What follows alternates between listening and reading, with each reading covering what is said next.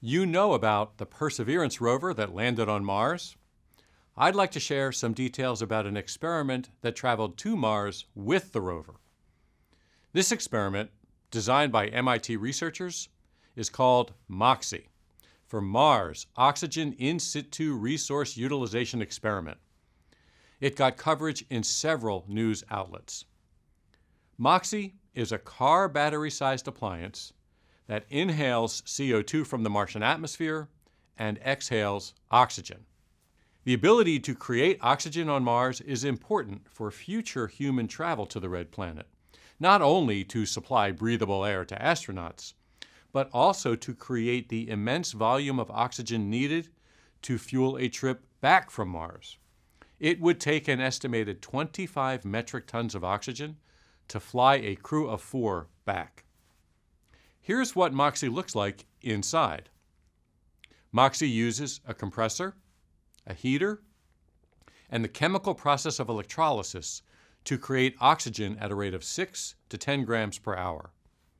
Moxie uses all the electricity the rover can spare and operates at a sweltering temperature of 800 degrees Celsius. This graphic shows where Moxie is located on the rover.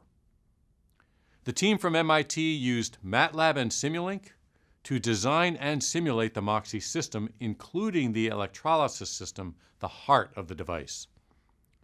MATLAB and Simulink were used for data analysis and mission operations, including analyzing the results of the first test run of the system when MOXIE successfully made 5.4 grams of oxygen. The team used simulation to simulate commands on the ground before sending them to Mars, since the team would have no way to fix the device if something went wrong. They have a digital twin of the system for just this purpose. The MIT team is now working on MOXIE's successor, which NASA would send to Mars before sending humans.